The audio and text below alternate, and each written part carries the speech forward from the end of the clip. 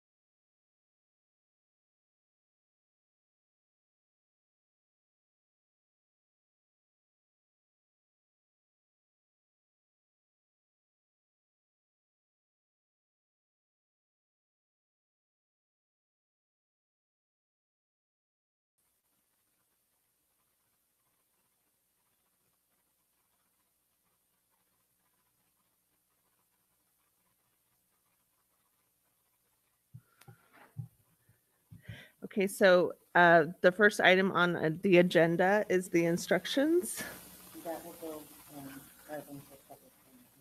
Okay. Okay, just skip over it and go to-. Okay. All right. Moving to item number two, I called us to order. Number three, Pledge of Allegiance. Mrs. Stafford, would you lead us, please?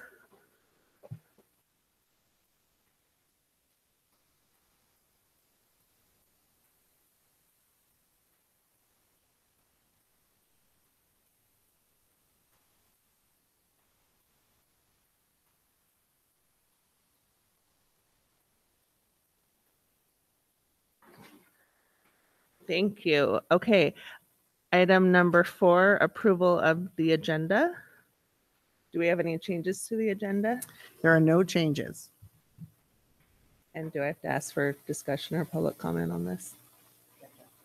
Okay. Do I have any public comment on the agenda, the approval of the agenda? Do I have a motion? Move to approve the agenda. Seconded. All those in favor? Aye. Aye. Aye. Okay, motion passes. Comments from student representative. At Las Juntas Elementary, we had a s- successful fire drill on Friday, September 29, where we reduced our time by 30 seconds. We had a dine and donate on Thursday, October 5th at Kinder's. Thank you to Kinder's and our community for the support. Our homecoming theme was Mousetrap, and our students, parents, and teachers had so much fun building our float and being part of the parade. Thursday, October 19th, free bike distribution for our TK, Kinder, and first graders. Earthquake drill is on October 19th. Fall break, no school on Friday, is October 20th, and Halloween dance on Friday, October 27th. At John Muir Elementary, fifth grade, fifth grade made kindness bees to scatter in our school and home communities. Be kind. Third graders are excited about learning multiplication and division. Division. They are also learning about gratitude and writing thank you notes. In art, we are, in art we drew under the sea pictures and then colored them with watercolors. Thank you to our PTA, families, and students for building our homecoming float. The theme is the theme is chess with a highlight of a John Muir Elementary student king and queen being on display. Thank you to our PTA for getting Save Promise Club implemented. SAVE stands for Students Against Violence Every Everyone, which is a part of the S- Sandy Hook Promise. John Muir Elementary students will talk about concerns and execute kindness in the form of student-led activities and will report to the student council. Tuesday, October 11th is our monthly PBIS slash character counts school assembly. Thursday, October 13th is our monthly fire drill. John Muir Elementary will participate in the Great Shakeout on October 19th. At John Swett Elementary, construction is still going strong and the big playground is ready to open any day. Second graders are using a variety of borrowing techniques, working on adding slash subtracting two digit numbers.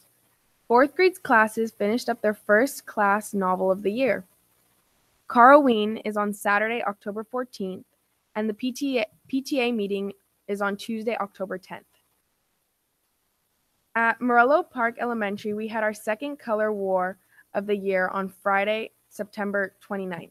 A majority of our students were wearing their tie dye shirts from our fall family event. This time, second and third grade, third grade tied.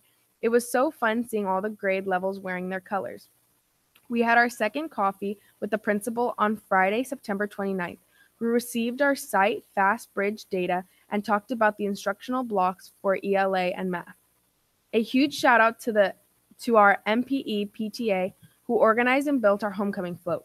We had a fun theme and it was so fun to see so many students and families participating in the parade as well. Thank you for a fun event. On October 10th at 7 p.m., there will be a PTA meeting. Uh, fall makeup picture day is on October 18th. Fall break is October 20th, no school. Color Wars is October 27th, and Coffee with Prince Coffee with the Principal is October October 27th at 8:30 a.m. Trunk or treat event is October 28th. At Martinez Junior High, we had a fun awesome we had a we had a fun awesome fall spirit week where the theme of the week was verses week was verses where students had two options to engage and show their spirit. The week capped off with the bullpup spirit, staff versus student. Additionally, we added more friendly competition with home run versus home room. Those who got the most spirit points throughout the week would be crowned most spirited. We celebrated our compilation of our PBIS Rise, Respect, Include, and Su- Support and Engage rollout with three days of lunchtime celebrations, including a fun and spirited filled rally on Friday. A big thank you to our MJHS PTSA student and parent volunteers who helped build, show off, and represent the MJHS Hungry Hungry Hippos float down Main Street in the homecoming parade. Congratulations to our seventh and eighth grade volleyball teams who have finished in the top four and earned a spot in the league tournaments. They will be competing through the week, seventh grade at MJHS and eighth grade at Stanley Middle School. On October 10th, there will be a Title I parent meeting at 5 p.m. via Google Meet. October 13th is the end of quarter one. October 17th is the PTSA meeting at 6 p.m. in MJHS Staff Lounge. October 20th, there's no school, fall break. October 26th, there is a PTSA Fall Fest, and October 27th is the Fall Dance.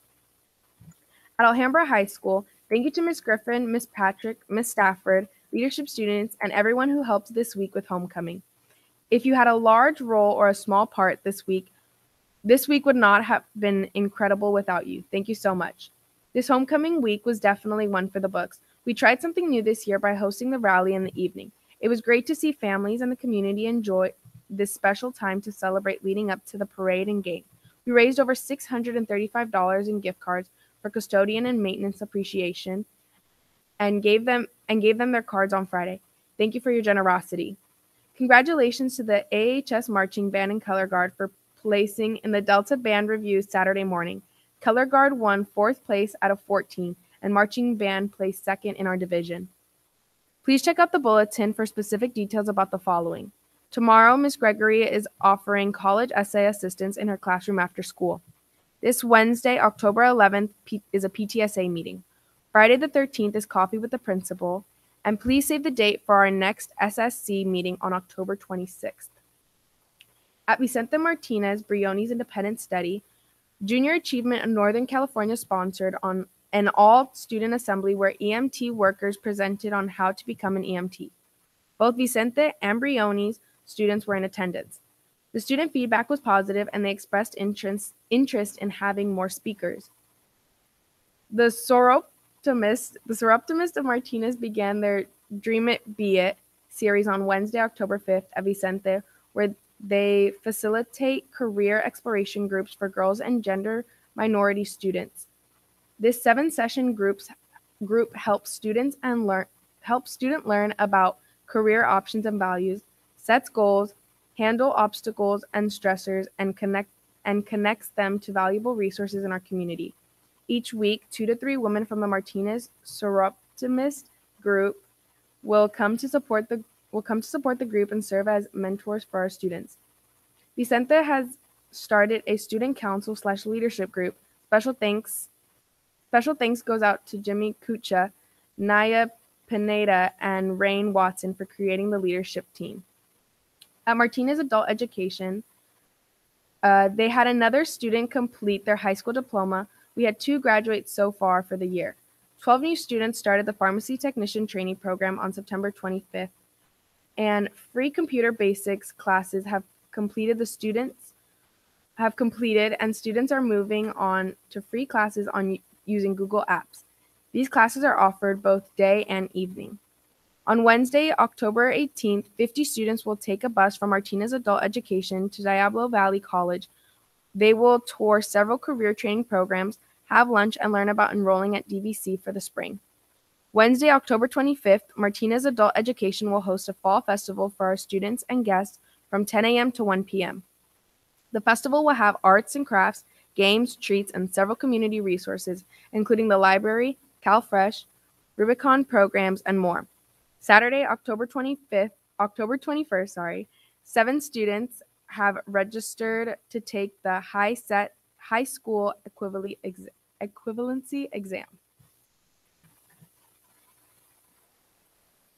Thank you. Is there anything you wanted to add? Sorry, my mic wouldn't turn on. The night rally was such a hit. I've never seen so many more people who wanted to participate in a rally. Um, I think it'll be really good for next year. And the homecoming game, we won, I believe it was 74 14, a little under three hours, but it was worth the game. Um, and con- congratulations to the varsity football team. All right, thank you. Okay, our next item is employee organization reports. Do we have any employee organization reports?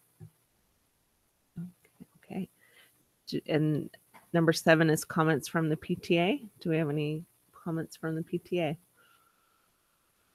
All right, moving right along. Number eight, correspondence. Do we have any correspondence? There's no correspondence this week. Okay. Number nine, staff reports. The first item is the superintendent's report. Okay, so um, today's professional development program offered a variety of sessions to each certificated employee. Elementary, elementary teachers had a four-course wheel that um, each one attended, and they consisted of two two-hour sessions and two 45-minute sessions, and they rotated through their sessions at different times in the day. The primary focus for the elementary class, classrooms from TK3 was literacy, and for fourth and fifth was math. That meant that at least two of the four sessions for each of those levels uh, pertain to their focus area. Counselors and psychologists completed sessions on uh, suicide prevention, mindful life, McKinney Vento, um, and had some collaboration time built into their day. The specialists um, at elementary level and uh, PE um, and such at the secondary level um, attended sessions on SEL, UDL, and equity. Our secondary teachers had a three spoke wheel with either a math or non math focus. The non math teachers focused on UDL, which is Universal Design for Learning, and literacy, while the math folks were introduced to the new California Mathematics Framework by the UC Davis Math Project instructors. Both Alhambra and Vicente were also able to work on WASC and or attend an equity session for the last uh, session of the day. Our special education teachers attended sessions on literacy, UDL, and IEP compliance curriculum, uh, compliance curriculum and behavior management. Unfortunately, there were over 29 certificated absences today, so not all staff will have had the exposure to these very important trainings. Informal teacher feedback from today was positive, and the sessions ended at 3 with our teachers leaving with practical strategies to use in their classroom, especially from the math and the literacy. Our next PD training is in March, and we'll continue to offer sessions foc- focused on these very important topics. I'd like to thank, um, let's see, Amy, Janelle, Yadira, and Amber from our Ed Services Department, and Betty Lynn and Ann Kim from our Special Ed Department, SELPA, U- UC Davis Project, West Ed, and Artosas. I think I got them all, right?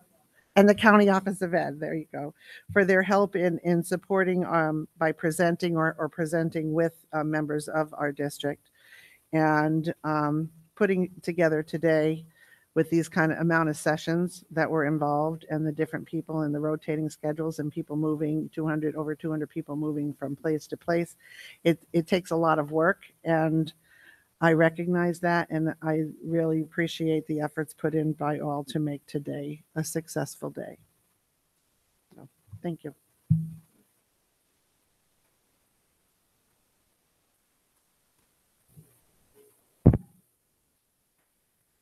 Thank you. Good evening, um, board members and Superintendent Rossi. I will be piggybacking off of uh, what um, Superintendent Rossi just shared about our professional development, but I want to take you back to um, our focus areas for the year. So, uh, just a reminder literacy TK3, math 4 through 9th, and then overall, we're looking at universal design for learning for all. Our August staff PD included some of the topics that we also had for today, which was universal design for learning. Uh, West Ed came and gave a very um, in-depth overview of universal design for learning on our August date to all staff members. We also had Keenan Safe School modules that um, our classified staff members were able to work on throughout the day in August. And then we had CSIG come and support with Crisis Prevention Institute training, which um, our paraprofessionals were able to engage in. On in August, we also had creative curriculum, which was done by Teaching Strategies, and we also had Kimochis training as Helen shared, um, today we had lots of things going on, many moving parts, and I'm hopeful that we're able to engage in uh, lots of learning throughout the day. So our AM sessions were universal design for learning. Uh, all of our staff members were able to attend one of the two hour sessions in the morning. We also had UC Davis Math Project come in and with a math focus to work with our math teachers. We had literacy from the Contra Costa County Office of Education, as well as social emotional learning. Our PM sessions, um, I don't want to re- repeat what Helen shared, but we had a lot of our staff members were able to support in offering different breakout sessions in the afternoon. And I again want to share a big thank you to everyone who put in work um, to make today be very successful for all. and hopefully very relevant to our certificated staff members. So we had a variety of literacy topics, math topics, IEP compliance, behavior management. Um, pre- we had preschool in a breakout session. We had our uh, kindergarten teachers in a different breakout session. So we were able to um, use Alhambra High School to our advantage with the amount of space and the amount of rooms that we needed. And then looking ahead to March, we're going to continue with Universal Design for Learning, uh, Literacy, UC Davis Math Project, and then we're going to start to blend in improvement science as well.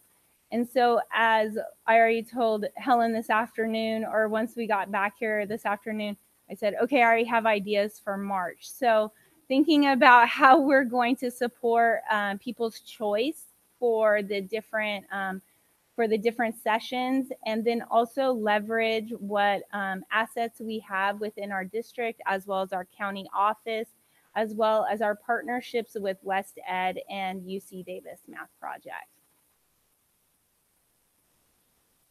That was my high overviews. Oh, any questions? A question. Um, Can you speak to the, um, how the, the course offerings or the classes that are offered? Is that um, kind of done by just administration or is it kind of collaboration with the, the MEA and the, and, and then how do teachers, are teachers just allowed to kind of select which ones they want to attend or, or how, does that, that process occur? So, so far it's been different both days. So I came in in July and August was pretty much set. So we, we knew um, that a whole day of universal design for learning is what was going to happen in August. Um, I had wanted to offer choice sessions for today, but logistically with the amount of presenters that we had available, we had to um, lock people into specific sections based on um, their content area. So, for example, PE teachers, we wanted to ensure they weren't sitting through a math content area for two hours because that could be a waste of time for them. And so, we wanted to make sure that we had relevant topics for them. Um, with March, we've already booked many more presenters so that we can have more flexibility and I'm hopeful in offering a menu out to people so that they can make choice choices for their different um, sections of the day when we move into March. That way, um, there's there can be a higher level of engagement because then they're able to pick what what they want to learn about or what they want to go more in depth about. And so we've already asked West Ed if they can have an additional trainer come in that day so that we can have different universal design for learning options. We've spoke to the county as well to continue to offer equity and social emotional learning. And so really ensuring that we have enough staff members that we can offer some flexibility and some choice for our staff members rather than saying, okay, here's your agenda. These are the three sections or these are the four you're going to. So I think that was um, also a learning experience for me coming in being able to offer that choice because I was hopeful that we could have done it today. And just with time restraints and the availability of staffing, a lot of people in this area have today as a professional development day. So that also limited our ability to off, like pull more people from the county level as well. And, and the topics are, um, in our, are based upon our LCAP goals. So that's where they come from.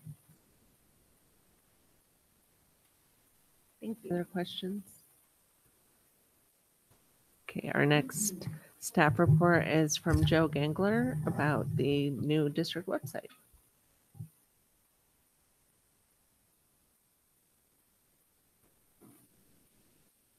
Sorry. Good evening. Had to share all my stuff. Usually I'm just doing it and someone else is talking. So um, yeah, so well, uh, good evening, and uh, we're going to just go over just a few things on the website. A request of the board to have a presentation for this evening regarding the subject.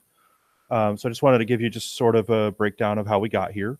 Um, so as you are aware, we were notified in May that our website vendor was going to shut down, and they were going to shut down July 1st of this year, uh, 2023.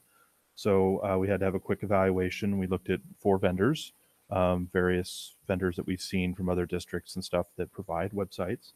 Um, and when I was reviewing those vendors, I started noticing that also these vendors create communication platforms that are integrated uh, beyond just your typical website uh, setup.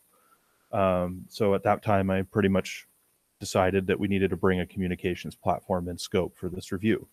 Um, so when we did that, we reviewed and we selected Parent Square because we liked the integration with Aeries, our student information system. Uh, we liked that it was a well-established platform that many districts in uh, in this near area also use. Um, and we had firsthand knowledge of administrators uh, such as Dr. Scudero regarding um, his usage of Parent Square, um, as well as uh, a couple of our principals from that have used it in previous districts. So we had some real life feedback of the effectiveness of the platform. Um, so you know, and at the end of the day, we we really felt that it was important that this would enhance the communication ability of this district, um, and bringing everything into one platform, making it easier for us to send updates and and permeate through all of our ways that we inform our community, um, whether it's just the city of Martinez proper or our district as a whole. So that's where we came to today. So you see our website here that we're sharing here on um, the screen. I elected not to do a presentation. I felt that a website could speak for itself. So we're just going to go over some of the important items of, of the site to point out some of the enhancements that occurred uh, when we uh, upgraded this platform and created these synergies and integrations. So the first thing I want to kind of define for you is uh, Parent Square has two components to it. So I'll refer to them as Parent Square Communications, which is what you would see on our app, uh, email, or texting when we're actually sending information to you. And then there's Parent Square Smart Sites, which is our websites. And those are the two. They're all under the same umbrella, but they're definitely they're two different products. Um, so we want to differentiate between those two. Um, so the first thing we did is we established permanent web addresses for each school. So in the prior system, if you had gone to our websites, it would have been, you know, Las dot school uh, schoolloop dot blah blah blah ca something, and that was because uh, it was a direct link to the vendor's page. Uh, that created some havoc for our parents because when we switched sites, those links didn't work anymore. So one of the biggest things we did was sort of a marketing perspective. Um, what is the easiest way that we can maintain a website uh, so that parents always know this is the place to go um, and it's trusted and it works with you know uh, web addresses they're used to seeing us at and martinezusd.net was our district homepage. So now what you see is uh, for example alhambra is ahs.martinezusd.net um, mj martinez junior high is mjhs.martinezusd.net so you can see um, that we're creating a you want users to look at your environment your community and see that they know that anything that came from martinez usd is going to come from martinezusd.net or martinez.k12.ca.us it's very important to establish just a minor little thing but it's very important for users to see that as a trusted resource. So you can see here like you have we, we highlighted right here. So we have our web address. Um, we also did a lot of legwork with Google because all once we switched new websites over, everyone would say, "Hey, where's Martinez Adult Education?" and they see the top link, and it would go to somewhere in the oblivion because that website didn't work anymore. So we worked, did a lot of work with Google to force it to look at our website so that uh, the community could use search results and get to the place they need to go. And this website helped with that because it better organized our information. Google caught all that stuff really quickly we were up and running in about 72 hours. We were starting to see very high used web pages start showing up in Google. So that was like a high level marketing thing that this website kind of helped with, kept our data organized and much more presentable. Um, the more obvious thing that you saw on our websites is the website got refreshed. It's less cluttered. Um, it, there's a lot more uh, space and usage. We tried to organize our menus by audiences uh, for our schools. So you'll see in some of our schools, uh, we can go up here to our schools menu and we can go to John Muir, for example. And here again, jme.martinezusd.net, keeping the consistency. Um, we have information on our school So things that are generic about the school, like the mission statement, our principal's message, um, attendance information. And you can see here what we are reflecting here in our audiences. So we have staff members, we have students, we have parents, the community, and then we have our say something link that appears everywhere so that people have a quick way of, of going to that resource so they can report things or you know make sure they're feeling safe and getting the right information. And when you scroll down we try to keep uh, you know very important items here in our menus very consistent on every one of our websites. Uh, the school calendar if you wanted to enroll we take you right into our enrollment system. Um, school board information so the community can get you know the agendas and everything very quickly. And then of course a very heavily used tool in the district Aeries so it sends our parents and uh, community out there uh, we have localized news posts here for John Muir, and we'll talk about how these work in a few minutes. Um, and then we kind of take some consistent messaging from the district, whether it's our school, our district's mission. Um, and then here we have all the upcoming events in a calendar for John Muir, and we'll go over how that works as well. And then just some requisite stuff in the footer um, and some other things here, like their contact information and address and such.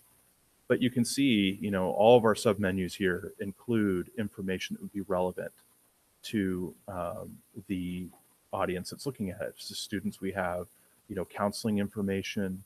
Um, this only works, at the Google site, so you have to have an account. Um, but our counselor there has made a, you know, amazing, you know, Google Sites website, talks about information for students to receive counseling. Um, you know, parents, we have our PTA, the school site council, um, tutorials on how to use Google Classroom so parents can help their students uh, function and work with their homework and such. Um, so we continue to, you know, review our website. It's, you know, websites tend to, you know, get clogged up with a lot of information. So like us at the district office are continually reviewing our websites and trying to consolidate information, make it relevant and current.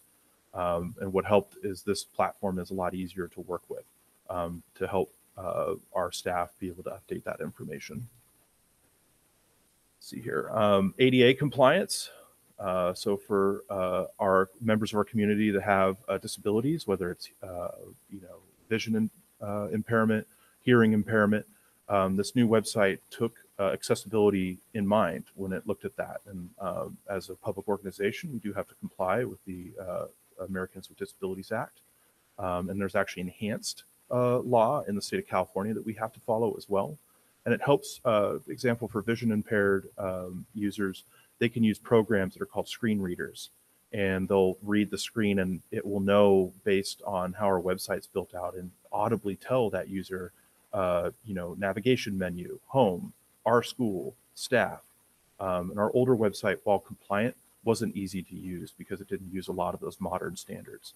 So this update just you know brought us more into you know being inclusive and equitable to all of our community to make sure that they can um, uh, participate with us just like everyone else. So I just wanted to point that out a little bit. Um, one of the bigger features that we have, and I'll go back here to the district office real quick. So uh, this little header up here you see on the top is on every one of our uh, school websites. So you just have one click and you're just going right back to the district website. So one of the things I wanted to talk about was the calendar. So our calendar is actually integrated with our Google calendars here in the school district. So each school has its own Google calendar. Uh, most were already established, and we sort of kind of grabbed them and brought them into this uh, website for a feed. So what we're doing is instead of schools having to post in so many different places, you know, upcoming events, whether it's the homecoming rally or the homecoming parade, uh, one person or a couple people at Alhambra High School, for example, can just post in their Google Calendar, which they already do. And that information immediately goes to our website, immediately goes into Parent Square Communications so that parents can use their phone, get on their app, and see upcoming events at their particular school. On the district level, it shows the every event that's coming in from our schools. So we can come over here, the wrong menu, of course. So this is a running calendar of everything that's happening in our schools. So um, it uses sometimes it has different color codes depending on the calendar, but you can see anything that's going on at our schools on any given day. And of course, this is uh, you know as accurate as our schools are publishing that information, and they've been doing an excellent job of getting that information out. And you can click on any one of these and you can get information. It takes you right to that calendar. So if you wanted to get to the John Muir PTA meeting, you know, it's Tuesday, October 17th from, what is that, 6 p.m.? Yeah, 6 p.m. to 6.30. So this allows, um, instead of these calendars being, you know, only on the school's website and only there, it broadcasts it to the entire district. That event is also in Parent Square Communications, and we only had to post it once. So that was a big deal. It makes it easier for people to share their events. I, I would like to add something. I've asked that all the schools begin their calendar events with their initials so that when you look at them, you should be, see LJE, AHS. It's easier to find what school it is. And the other feature that I've talked to the board about, which I'm not sure if they've had time to look at, is the list feature. You can take and, and make it a little more clear day by day of everything that's on that day. You can flip between the calendar view and the list. And this data is is current as of the moment you load the page. It's not you know downloaded every day and presented. If someone posted an event right now, um, depending on your web browser settings, it would be either instant or a couple minutes, and you would see that update. Um, parents can actually subscribe to these calendars. They're public facing, so you could add it to your your uh, mobile device and just make it part of your calendar. Or again, it's it's actually in our Parent Square app as well, so you can uh, participate in all those events pretty pretty easily. Um, so that was a big feature for us. We never really had, you know, we had a calendar on the old website, but it was kind of hit or miss whether you know the events were there because it was it was difficult. It wasn't a matter of you know people not wanting to do it. It just took so many steps, and I think that helped um, with our current website the, that we have today. Is again um, taking feedback and um, trying to make it easier for staff to use the program. If it's approachable and easier, they're more apt to update it and uh, keep it current. Um, another thing we had with our integrations with uh, Parent Square Communications is our news section here.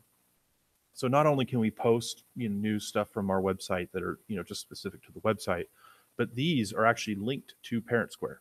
So when we go into our communications platform um, and we want to send a message to the entire district, we have the ability to check a box and it will also post that on the website. So again, we're adding more avenues for communication uh, with the same language so that you know the website isn't different than what you saw on parent square.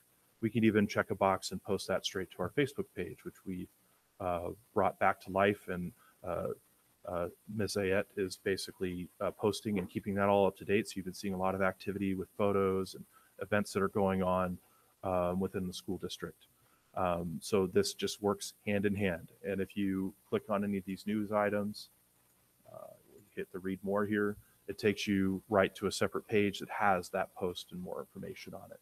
So again, when we're communicating, it's very important to have consistent messaging, no deviation of the message that's going out because it was in one platform and we typed it differently or whatever. It's literally the same message going out, which helps uh, when we're informing the community, especially in emergencies. Um, so it, it takes this feed will take the last uh, four most recent posts, and that's consistent on every one of our school websites. So uh, we can go over to Alhambra High School.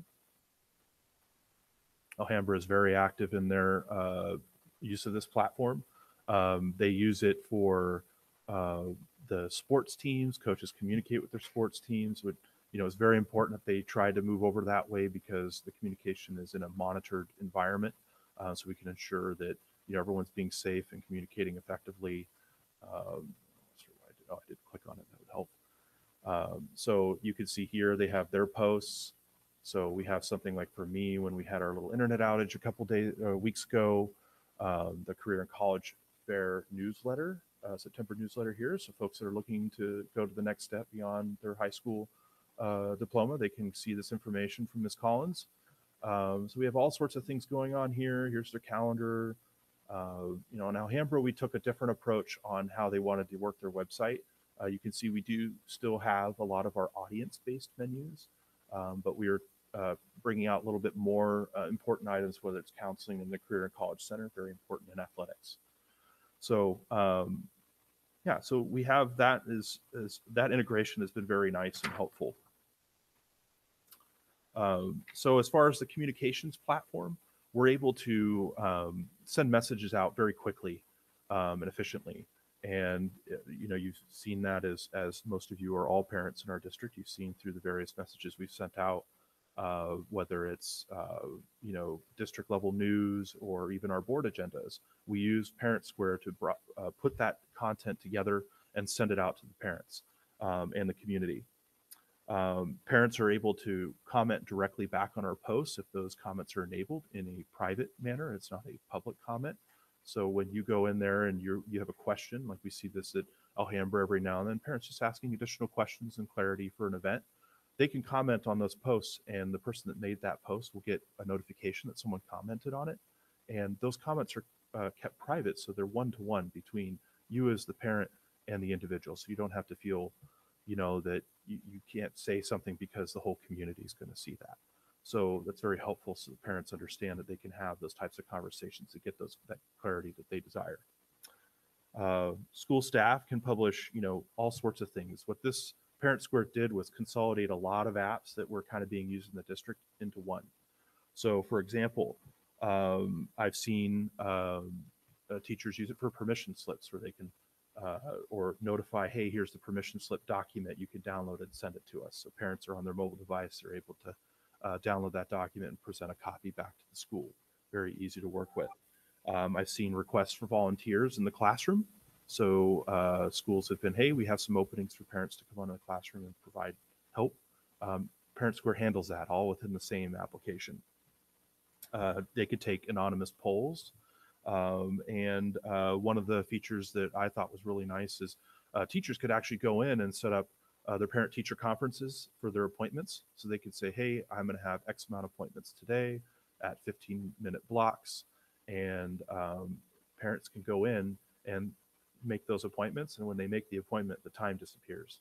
So they don't get any double bookings. And it's a very efficient way for, again, uh, teachers or the district to effectively communicate and uh, work with their community. Um, so effectively, what we've done is try to create a one-stop shop for community and communication, and this has helped us do that. Um, and another, another enhancement we started out with Alhambra High School with this is we have you heard of Parent Square. Well, we actually have Student Square as well, and this is an app for our students to participate on. Again, only a one-way conversation between the staff and the students. We don't have lateral communication between student and student, but it does allow for the schools, like I mentioned earlier, coaches can communicate with their teams. They can make a, a team, uh, a group called uh, Alhambra High School Cross Country or something, and they can add their students into there and they can communicate with their, their student athletes. Um, we have clubs using this at Alhambra High School so they can communicate with their club members. And this is, again, the, the club sponsor faculty sponsor um, working with the students. Um, we've enabled that at Alhambra High School, uh, Vicente, and uh, just recently with the junior high. And they're sending communications and notices to students. Hey, there's this event next week. You know, make sure you bring X, Y, and Z. So again, it's enhancing this communication uh, across all of our uh, constituency groups, whether it's parents, the community, or students, and and staff as well. All of our staff are in the system as well. Um, so we've used it to, it's from our perspective with staff, we've used it to communicate uh, during emergency events uh, that have occurred in the last few months. Um, you know, each time we send this notification out, we we get feedback to make sure, oh, we didn't that didn't work out well. How can we make that better? Oh, we missed this group. How can we make that better? So we're continuing to improve and make sure that we're effectively communicating with staff.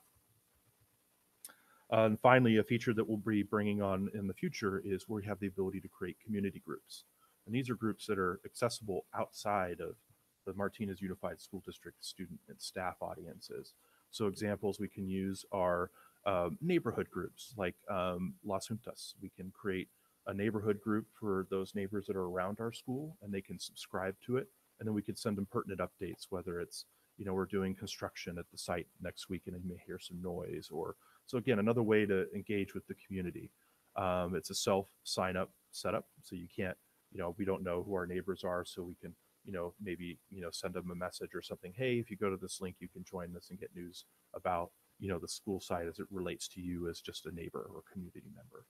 Um, this could also be used for communicating with PTAs. They can go in and, and join uh, this. There's no cost or anything. They just go to a link and give us an email and we can communicate with them in that group.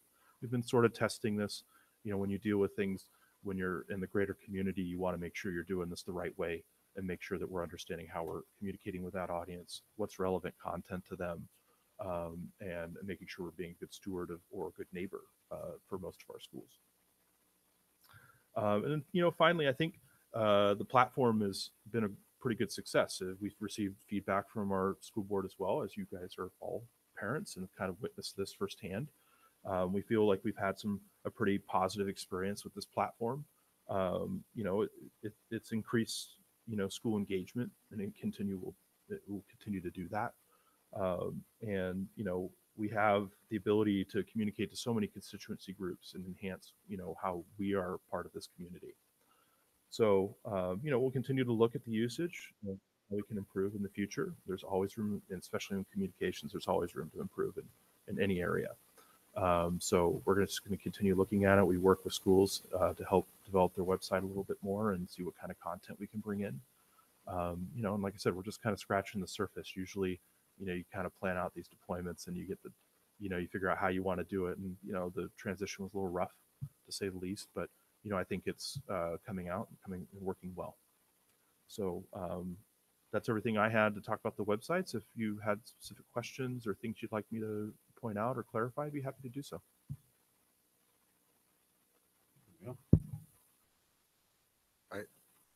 Want to highlight you kind of glazed over the fact I think you had about a month and a half to put this all together or get it rolled out. So a, a huge, you know, good job. Thank you. Uh, Um, it's I know there's been some little bit of learning curves, but the uh, your efforts and and getting this uh, switched over from the old uh, platform to the new one is has been huge, and I think it's been a huge success. I really do love the consistency from the school sites and and you know having being a parent of going the elementary to the junior high to the to the high school. This is really nice not trying to have to relearn a, a web page on on each site. So thank you very much for that. And this just really is I get for me really exciting from a from an engineering perspective because it's so well laid out. It's very uh, logical. It's very uh, easy to access.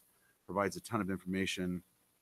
Um, one question, two, a couple questions I had for you. Talked about um, being able to put up all the events. I am noticing that there's still a lot of sporting events and and activities that's not being utilized. Is that up to um, Mr. Ortola to to put up the athletic director, or is it the individual coaches? If it's individual coaches, some of those coaches aren't on staff and so they're so can you speak is it just a again we're getting better and, and having to slowly engage and, and uh, utilize the platform Um, I would say because we mostly kind of left it up to the schools and how they wanted to approach it because we didn't want them to redefine the process of how they're getting their events in. Um, the end goal was not to uh, create more work unintentionally. So um, if we are missing events, I can just you know schedule some time with AHS and kind of figure out how and where the area is. Is it something on my end that we're not attaching ourselves to a calendar that we that they're using regularly? Um, so and that's probably just a simple thing of just you know coming together, figuring out how we can enhance that communication. Uh, you know, I know the AHS staff has like been going, you know, really gun ho on this website, really in an amazing way. They're finding ways to reorganize things, especially in the parent square. They've been stu- uh, communication side of the house. They've been really pushing it really hard in there. So um, yeah, it's just I, you know, if there, if we're missing some things, and I, you know, that's uh, an easy thing to fix. Yeah. So we can go and I'll work with Mr. Otola and see how we can uh, where that uh, gap is that we can help out with. This, and- the sporting events are not on the, the district events. They would overpower all of the district events um, on the combined page. Are you talking about? no i was looking at the even the Oh, Alhambra specific Okay. Yeah, Thank we you. definitely want you know school-based events to be very prominent on the school Sure. website. So that's something we can look into. the other thing i would ask is obviously with the uh, coordination meetings we have with the city i think this is a great way to, to bridge the communication with the city's websites and you know being, being the good neighbor community member and you know and having that information here and sharing it with them so we can pencil that for the next city uh, coordination meeting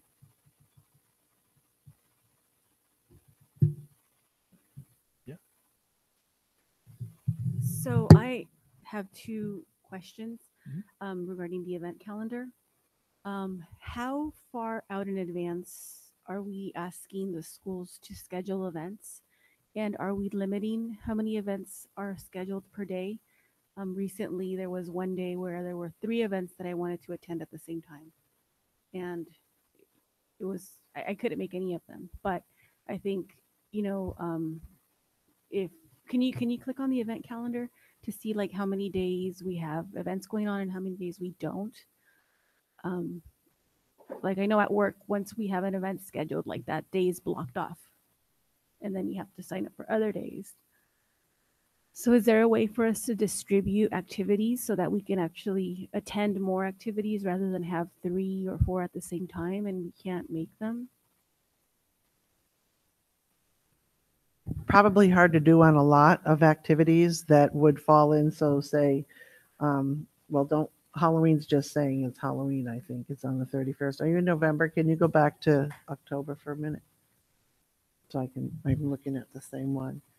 So, you know, PSAT testing is going to fall on the same day as other things. Um, are you talking like if they have a, a dance or if they have a uh coffee with the principal or so on and so forth? Recitals, um, family events, um, sporting meetings.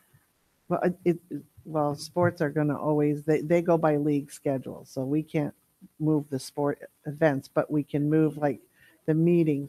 They should all be looking at calendars, but I don't think that they're going to be able to do it all the time. So for instance, if they have a coaching meeting set on the twentieth and PTA on Friday, the twentieth, I'm just giving a date, and PTA decides that they want to do a, um, a dance, you know, father daughter dance or something on the same day, they're going to go with their volunteers and their own calendar for their school because every school has their own set events that already might be in there. So there might be something going on on that day. It, they can look at it and use it. And I will mention that to principals to say, when you're scheduling, try to, you know, avoid days that have a lot of things on it. But I don't think we'll be able to limit it to two or three in a day because events are going to happen. Um, you know, the, the Halloween parade is if they still have those are going to happen on the day before Halloween or on Halloween if it's a, it's a day. Things like that are going to happen. But I think it's too difficult from working at a school site to try to make sure that the junior high doesn't schedule anything on the same days as the four elementaries, the middle school, the adult school, Vicente and Briones. Um, it, it, it can be challenging, but they can certainly look at it. So are we asking them to schedule events four weeks, four weeks in advance? Six A weeks lot in of things are advance? scheduled like for the first semester and then scheduled for the second semester. A lot of things co- are scheduled as they come up, as ASB comes up with different activities and so on and so forth, maybe a month or a month or two ahead of time, depending on the situation. And some things are scheduled um, in the year before, and before we leave for the summer, they come up with a lot of events that they put on there. So everything's done at a different time, depending on what the what the event is. Can you click on November real quick? Okay, so we have Thanksgiving. So nothing there, but then we have like the eighth open, the sixteenth, seventeenth, the thirtieth open. So, I mean, there's potential for there not to be a lot of overlap because there's stuff not going on on certain days, but nothing on the sixth. So I think definitely asking them to look at the calendars in advance and seeing if there's open days to disperse. I can events ask them, but. I can't guarantee that it's going to happen. Well, that's fine. Yeah. I don't want to guarantee. As but I said, I'll definitely- ask them before they schedule to kind of look at the calendar and see, to try not to overlap as much as possible, but there's no guarantee that it's not going to happen. It's just too hard with eight schools. It, it's difficult. I understand, but Yeah, planning. But the they could always try. good. They can take a Yeah. look. Thank you. So I was just gonna say, um, great presentation. Um, I actually love the calendar. I love the parent square. I think you've done a great job. Um, I did have one question. Um, you said if they get a notification, like in Parent Square, and they want to respond, um, it only goes back to that one person. Do they know that? I never heard that before. Um, So- so when they comment, it'll have a little lock on their comment uh, that basically is sort of like a privacy like icon, I guess. And um, and yeah, so mo- if parents don't know that, we can definitely do a better job of communicating that out. But yeah, if they go, if a comment is enabled on a post, um, they are able to comment back, and only um, like school administrators would be able to see that that have that access, and they could respond. Uh, parents can also direct message. So in the Parent Square app, there's a little sort of direct message uh, link, and you'll be able to go in there and you can message, you know, um, you know, usually I think usually it'll show the site principal, and then it'll give them an email message that someone, you know, is hey, someone's directly messaging you. Did you want to uh, reply back? And it's sort of like you know web-based texting. It's just between you and that parent, but within Parent Square. So yeah, we can uh, provide some guidance to uh, parents if they want to engage more on those posts or if they have you know pertinent, important questions. Yeah. I just, I just think that I didn't know that, and I think that would be kind of a nice feature, Okay. um, just for people to know. But I think everything, you know, like I said, I really like the website. I think you've done a great job, and uh, I do use it a lot more. And I like that you have the phone numbers on there, so if you're calling for an absence or like that's all in one place. So, um, great job. Thank you. Yeah, I agree. I've gotten a lot of positive feedback too about the website and Parent Square. And so are like the AHS page, Joe, is that your drone that took that photo of the over? No, The overview? um, that No. was the Facilitron Facilitron drone. I didn't have my drone yet then, uh, but I do have plans to go do some aerials of some of the uh, schools to replace those pictures pretty soon. So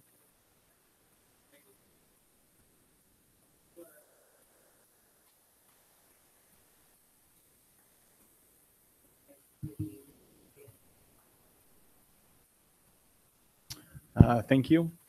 So twice a year, we meet as the Citizens Oversight Committee to review our two bond measures, Measure K and Measure R. We have a seven-member group. Um, I make eight in that. Um, And so we just recently met. That was on the 3rd um, from 5:30 to 6. So what I've attached to the board document is just the agenda so you can see kind of what we look at here. It is a formal meeting. Uh, We do have a president, we have a secretary, and we have a representative that speaks to the board to talk about the results. Um, they're not, our representative isn't able to make it tonight, so I'm going to be filling in as the representative, um, explaining about what we talked about and what the result of our meeting was. Um, so again, uh, in front of you, you have the agenda for the evening. So we go over, just like uh, we do in this board meeting, over the Pledge of Allegiance, over our agenda. Um, where we get into is you notice that we talked about a notice of completion. And mind you, all of the things you see here, the board has already seen in advance.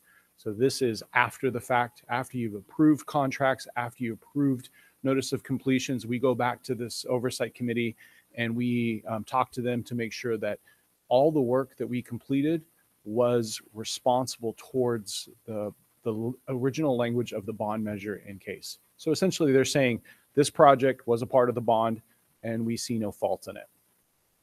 So as you go through um, Measure R, we listed all of those um, contracts um, that have gone through in the last year.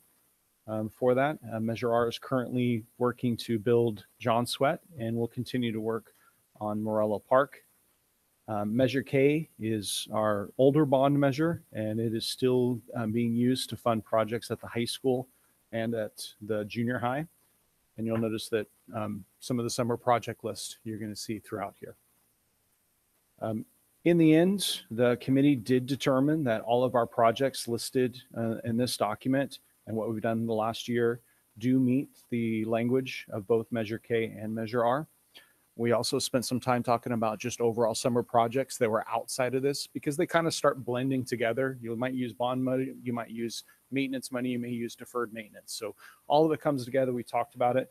Um, I think they were impressed with how diligent we have been as a district to make sure that our facilities are, are running and in good shape um, and to be able to use the taxpayers' mon- money wisely. Um, they are excited about what we're going to do next. Um, as the money starts to fade away, there's still some more projects we're going to do. And we explained to them that we are currently in the process of building that next year summer project list. And we'll be able to present that probably early spring as we start working through that. Um, overall, we had um, five people attend, so just enough to make quorum. Um, as you know, sometimes it's tough to get um, people to attend those evening meetings when they have lots of other family commitments and things that they want to do. Um, I think some of them are bocce ball players. I didn't ask, but I think that was also uh, maybe a league night. So I'm not sure if that had an impact, but it sounded like it may have. Um, all in all, we had a really good meeting. Um, we were very responsive. They were happy that our website, which we just got a chance to see, has a lot of our bond information. Um, they do want us to put more and more pictures on there. And so we're going to endeavor to do so.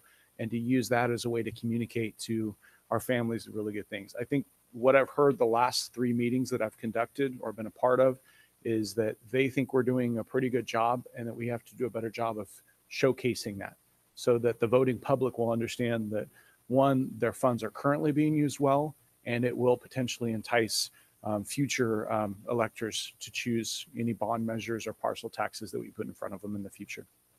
And that's the report tonight. I think that's a great point. We had a great presentation last meeting with some really nice pictures from the summer projects. And I hate to give you more work, Helen, but is, or maybe Andy, this is work for you. I don't know. Um, Sounds like it's maybe we could have like a little, uh, you know, item in one of the upcoming newsletters about those types of things with some pictures. Cause it, it was great at the meeting, but as we know, not everybody watches the meeting or attends. So. Well, if you were to go on our website right now, I hope I'm right. I did ask for it to get published, um, but the presentation from the board meeting is listed on there in our bond page Great. um, with some other pictures and items as well. Okay. Um, and if you notice in the lobby as you walk by, we're continually updating I- um, the lobby. um, Yeah, so you can see I those did- pictures. Thank you. Okay. Any?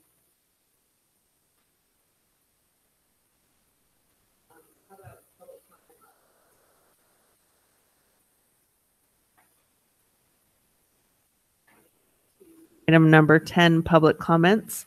Do we have anybody on Google Meet? No, okay.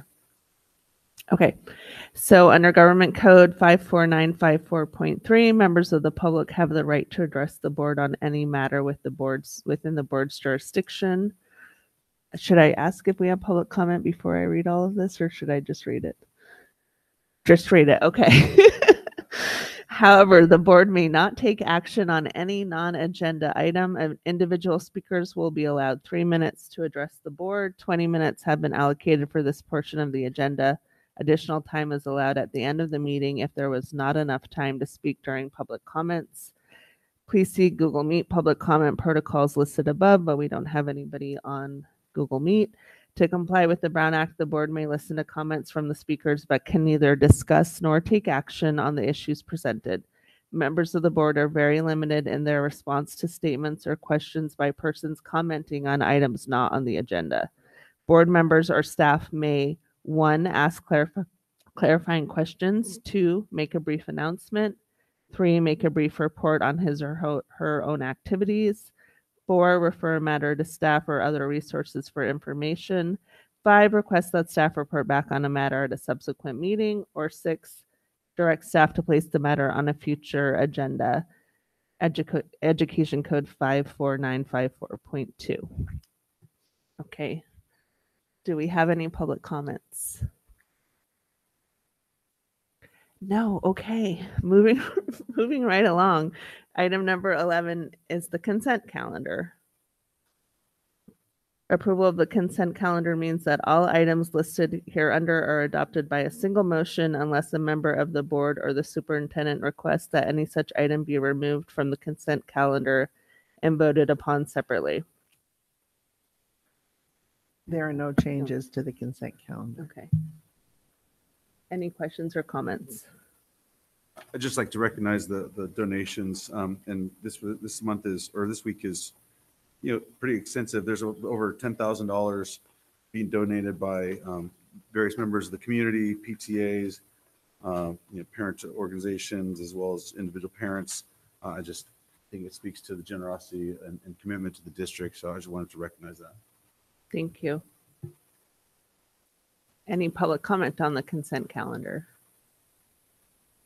Okay, do I have a motion? I'll make a motion to approve the consent calendar. I will second. All those in favor?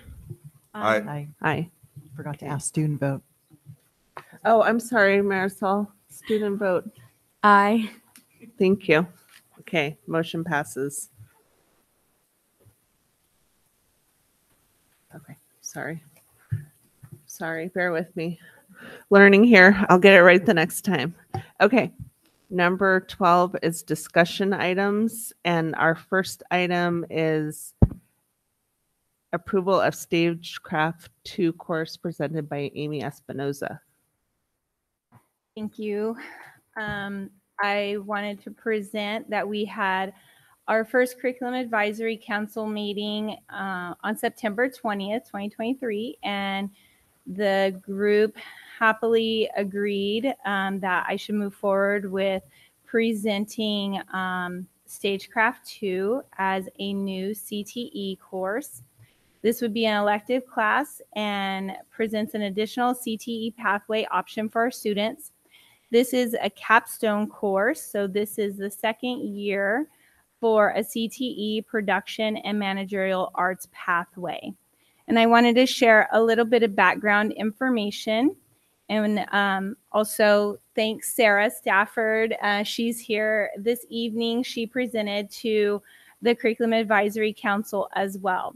But to give a little bit more background information, which you will find in the supporting document, um, they have determined that there is student interest in the second year of Stagecraft. And currently, we are offering two sections of the concentrator course, Stagecraft 1. And so we do have students who are interested in expanding their learning in that area.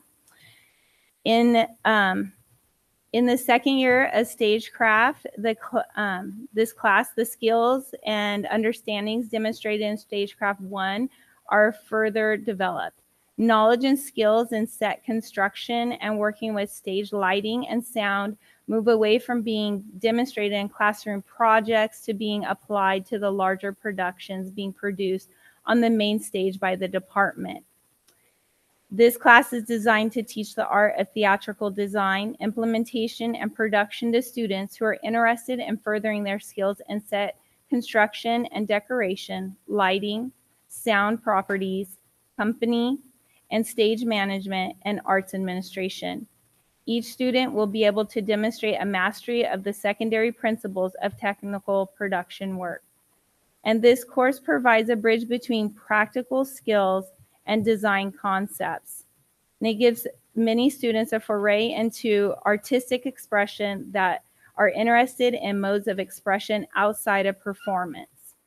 And so, next um, board meeting, I will be asking for the board's approval in um, the course for Stage Craft 2 to begin in fall of 2024 at Alhambra High School. Okay, thank you. Anyone have any questions?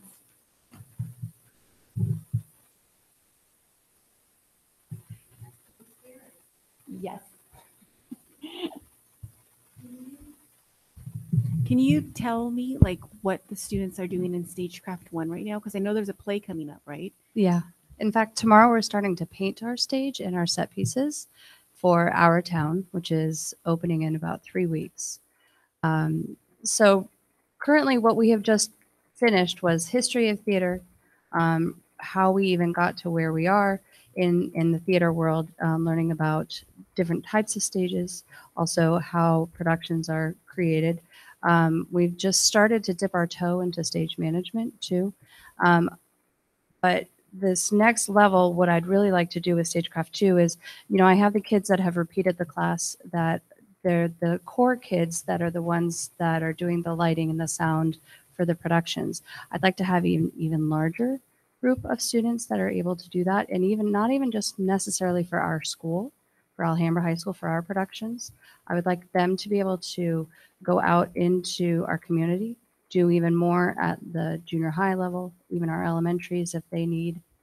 Um, if they're having events, that our students could come help run the events, but also have internships with uh, like Lesher Center. Um, in fact, we have one of my current students is just starting an internship with the costumer at the Le- Lesher Center.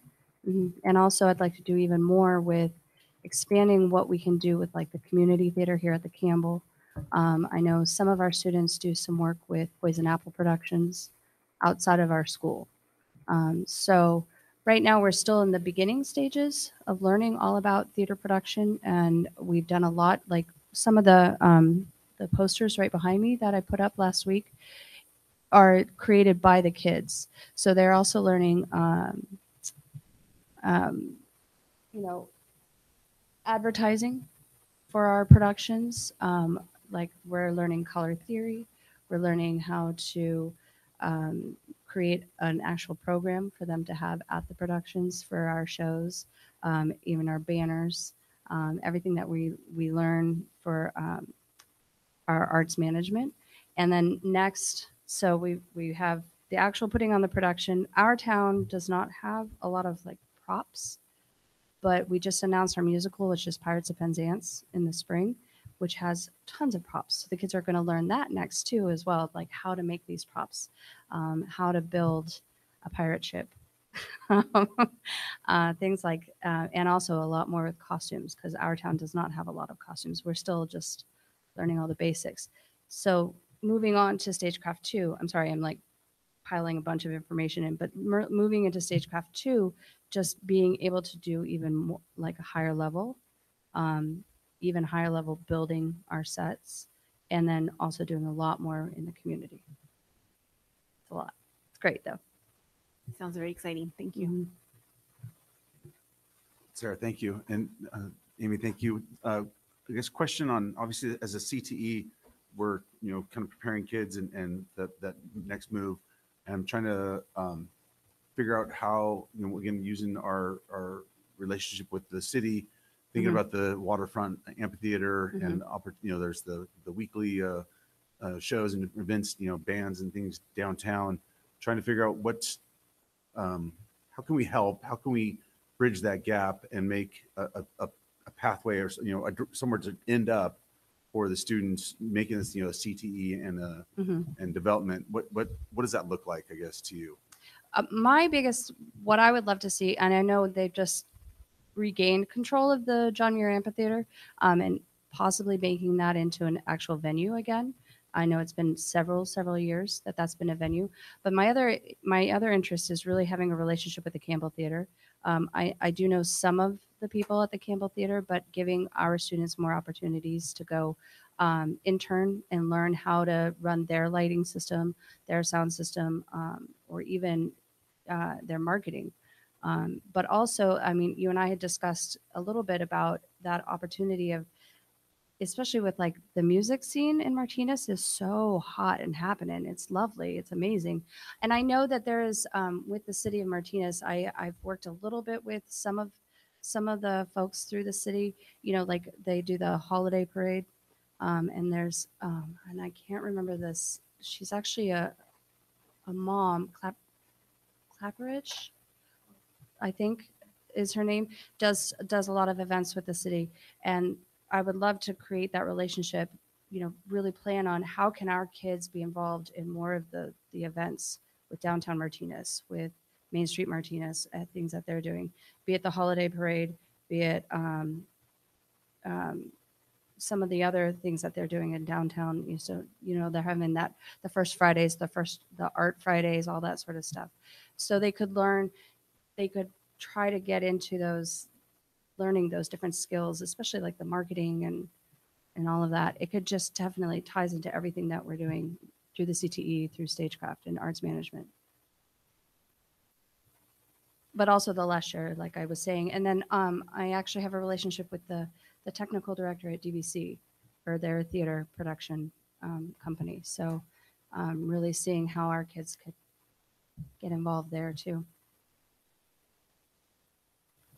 I just want to say, um, I love your enthusiasm for it and it sounds wonderful. And I'm looking forward to, um, you know, seeing that progress and, um, hopefully, uh, get some more contact with the city. um, Mhm. And then also like Chamber of Commerce and do some stuff like that. So let us know what we can do to help. Thank you. Yeah, it started off as a club and we'd work weekends Oh and gosh, nights. awesome. And so it's just an amazing opportunity to have it as a class. And then in, in the class that I got to take last spring about making it the CTE pathway and continuing and how to make that, that work connection for the students and just giving them those opportunities, like those chances to just really experience it as a job. I mean, even hire them at the junior high. I, I had a, a former stagecraft kid who over, I think it was last summer, worked worked at the junior high for some group that had like six different rap concerts that he got to go work at. So give them awesome. those chances. Yeah. Yeah. And there's so much you can learn, like you said, marketing. I mean, there's so many things that are um, combined to that. So Costuming, awesome. makeup, I mean, Right. everything, stage management, all of it. Yeah. It's a fantastic, fun world. stressful world. I believe it, Yeah. Amazing, though. Yeah. Thank you. But I do want to also commend you on, on this. I mean, it is a, it, it is a differentiator, I think, for the district and, and, um, an offering to the, to the greater community. So Yeah, in fact, one of the CAC members said he wished he had it at his school. Um, and he puts on huge productions at his high school that he works at as a, as a parent. He, massive productions, and he wishes he had stagecraft as a class. So I'm incredibly blessed in Martinez, really blessed. Thank you for all your hard work and thank you, Amy. Do we have any public comment? Okay, so we'll uh, bring this back to the next meeting for approval. Um, the next item for discussion and information is the approval of the request to permanently increase the daily rate of pay for substitute teachers. So this is an information item that I'll bring back at the next board meeting. On October 4th, 2022, the board had approved an increase uh, in substitute rates, uh, which had not happened for perhaps decades. Um, And what we're asking is to make those increases permanent. Uh, While the amounts are the same, the verbiage has changed a little bit from what you approved in October. Um, This at the rate, this at the suggestion of our uh, payroll uh, staff. Uh, Daily rate of 220, long-term rate of 250 uh, is- is the exact same thing you approved last year. You then approved a $20 stipend for um, SDC, uh, for those subs going into SDC courses. And- And the payroll office told us they wanted to keep the amount the same, but not call it a stipend anymore. So it'll say the SDC daily rate will be 240, uh, which is 20 above the daily rate. And the SDC long-term rate will be 270, which is 20 above the long-term rate of 250. Um, So I'll be bringing that back for approval at the next board meeting. And Okay. I'm glad to answer any questions if there are any questions. Yeah, thank you. Do we have any questions?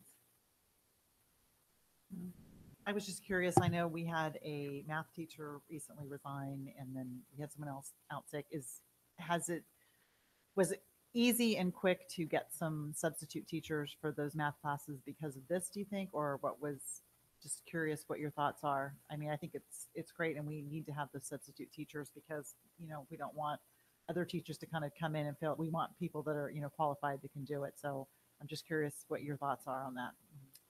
Yeah, so the, um, the- the, math teacher issue you were talking about, we were able to find uh, some substitutes. Um, I, I think the sub issue really played out last year countywide. Uh, Mount Diablo was the first district to, to increase their rates, and then everybody else in the county increased their rates because uh, within a week, all the substitutes started flocking to Mount Diablo, which was paying $100 more than everyone else. So then everyone else, the same thing like us in Martinez. And, and now no one's going back down because there still is a a shortage of substitutes in Contra Costa County. And none of us want to lose the access to the substitutes we have. In fact, I would say we're all hungry to uh, find more substitutes to come into the system.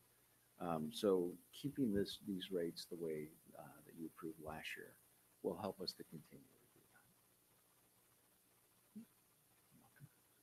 Thank you. Any public comment? Okay, well, we'll bring this back to the next meeting also. Okay, item number 13. Dr. Scudero again. Um, approval of revised job description for office manager, and this is an action item.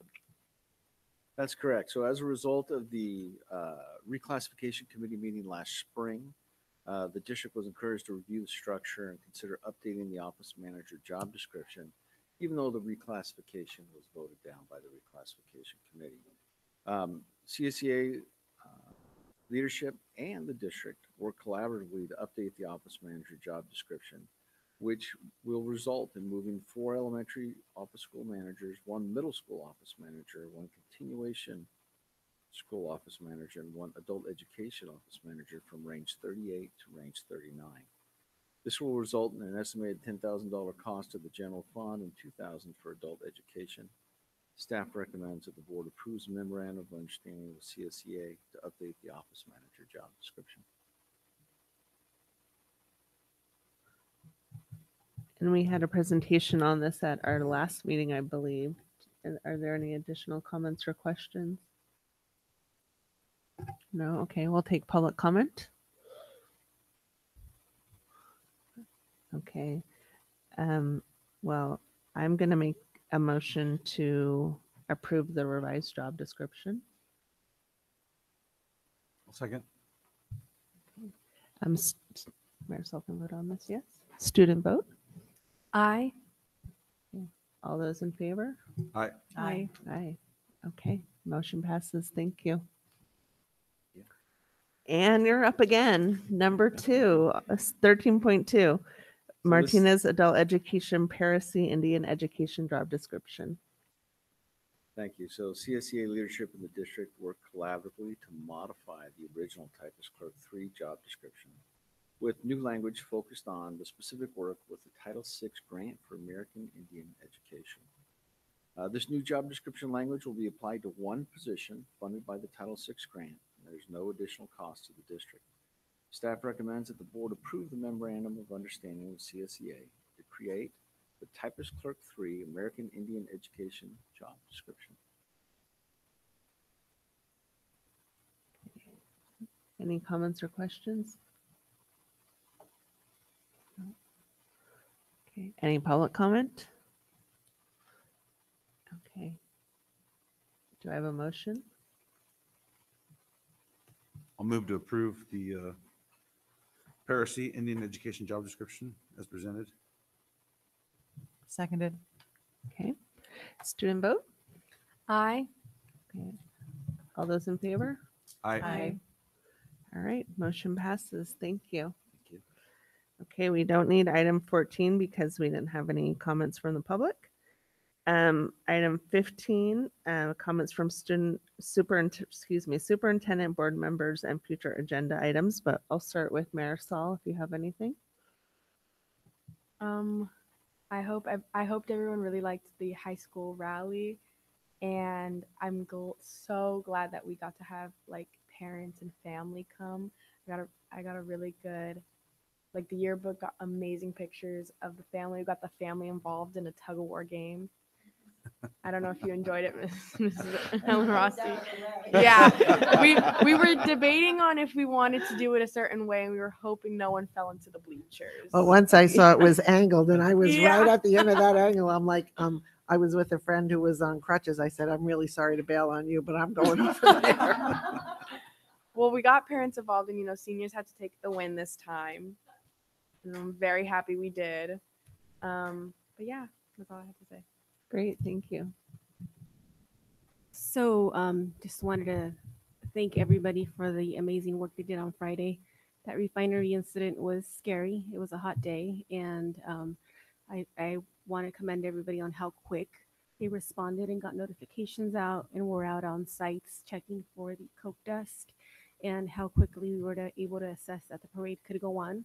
I know that in my household we were nervous, and I was nervous about letting my kids go to the parade because of the incident. Um, so getting the notification that we were okay was a relief. Um, I- think Courtney and I should meet regarding what steps to take next um, because it seems like the refineries are ongoing and what we're doing is great, but I think we could do more. So um, we'll meet and discuss what we can do as the committee regarding that. So um, the ad hoc committee that we put together for the refinery incident is, um, I- I wish Annie was here because I've explained all this to Annie. She could probably, uh, Courtney, you know, doesn't, I didn't explain it to Courtney. When you make an ad hoc committee to look at an incident, you look at them one, that one particular incident and you report back and then it's over. So if we want to take a look at these other incidents, we have to create another ad hoc committee to look at the incident that happens and then report back to the board. There's no, um, there's no, um, direction given by the ad hoc committee. They just simply go and gather information and then come back and report it, is my understanding. I'm going to check on, um, I know that it's not an action committee, it's just a, a report back committee, but I want to check on how long they can be in effect. I'm pretty sure from what I read, it can only be for the incident that it was created for. And that would be for the, um, what was the first thing that? Last Thanksgiving. Yeah, the, the dust It wasn't the coke dust, it was the, the big release that we had and whether or not it impacted the soils and so on and so forth. So I'll do that research and put it in the weekly update this week Okay. um, and put the documentation of where I got it from. But that's my understanding. So we're all learning. Okay, and then maybe, depending on what you find out, we could talk about maybe if we want to reconvene a new committee or something like that. Right. And I will talk to Annie. We meet every Wednesday and then it, we'll talk about putting it on the agenda and so on and so forth. Okay. And That would be fine. I just want to say, um, yeah, great job on communicating for that. And um, congratulations again to the Alhambra High School. They just killed the game. It was awesome. so um, that was great. And I heard the homecoming dance was also phenomenal. So um, lots of activity there. And um, it was great. So that's pretty much it. Uh, one of the things we can, didn't talk about and uh, was able to participate on uh, last Saturday or Saturday before last was the MEF run and just recognize MEF for the uh, the money that they collected. I think this year was about 101,000 that they collected. And all of it goes to uh, teachers, the district for different programs and, and facilities. So I wanted to recognize them and also uh, Vera Montez for her design and for the new t- for the T-shirt for this year. She did a great job, and I believe she is the salutatorian or valedictorian for this year. I'm pretty sure she's going to be the valedictorian. Valedictorian. Okay. She has a pretty high Yeah, GPA. yeah. um, and then also thank you, Sarah, for the birthday wishes on Saturday. Yeah, I'm busy couple of weeks. We had a lot of stuff going on, lots of people working really hard. So thank you, everybody. And that, yeah, do you have anything to add, Helen? Yeah, I just wanted to just um, put this out here as we approach the um, the ending of our CARES funding, the the remaining um, funds that we were given to uh, for learning loss and for a variety of reasons through COVID. Um, we have to take a look at how those reductions may impact our current we're staffing we're 86% staffing so there's an impact there and um, other things that have been funded for the past three years with this money now that the money will be decreasing next year again and then pretty much gone by the year after. So in talking with annie i'm just planting a seed for tonight. Um, uh, we want to look at a, a board workshop day. We only have one meeting in december maybe a, a a workshop uh, put on by our business department in what is actually funded in by those funds and how um, how and look at possibly ways to keep some of those positions and and because you know if we keep any we have to to if we if we uh, keep any positions we have to take a look at our general funding and other funds that we have and manipulate those things we have. So just like i tell anybody if you want something new we've got to take something away so we knew, and I've been very vocal in every presentation that I have given since 2020 March. Um, when you buy things with one time money and that money goes away, so do the things, unless we figure out um, how to to switch the funding sources, which means take those fundings from else, take those funds from elsewhere, and and maybe stop doing some of the other things we're doing. So just start to throw around dates on your calendar and look and see. And uh, I will speak to Annie on Wednesday about how she wants to go about uh, scheduling that, whether we put something out to see what the best dates are, or you guys tell us the dates that you can't, because I know with December comes holiday parties and, and different family functions that you might not be available for. So we, the reason we're, we're selecting December is because if it does impact staffing, we have a deadline that we have to meet uh, through Ed Code, um, which that process begins at the end of January. So we have to have time to be able to put all this together, and Andy has to be have time to be able to figure out the funding pieces of it. So, okay, so we'll be coming back to you with a date for December. So start to kind of take a little peek. Okay, and on that happy note, I will. Hey, hey. Thank you for my uh, my first time leading the meeting being short, and uh, we will adjourn.